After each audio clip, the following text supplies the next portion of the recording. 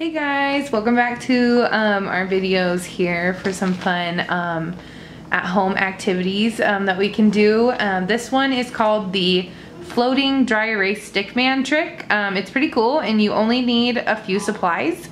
Um, the first is water and then once we have our water, you if you have any dry erase markers at home, any colors, go ahead and grab those. and then you're gonna need a pie pan or a plate. The pie pan or the plate has to be glass or ceramic. Um, so you make sure that your uh, ceramic plate here is flat on a flat surface.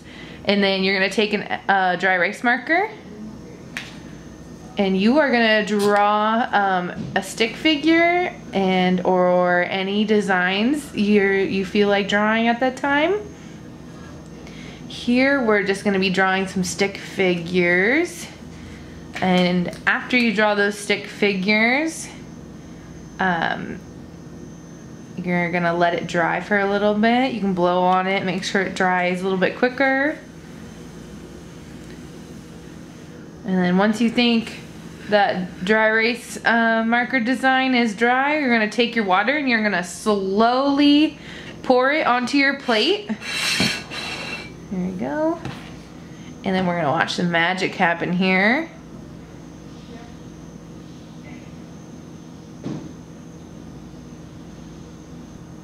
Oh, we got a bendy stick man right here. and then you're gonna watch these stick figures dance.